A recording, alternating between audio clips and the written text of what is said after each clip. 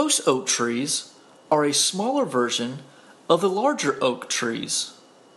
This tree will grow to be around 50 feet high and 40 feet wide, instead of the taller and wider ones. Post oak trees grow well in full sunlight and can adjust and adapt to different soil conditions. Post oak trees also do well in zone 6 through 9 and is often found growing in parks.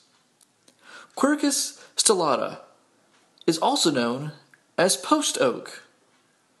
If you would like to purchase the post oak tree and even more plant varieties, log on to our website at treesforsaleonline.com.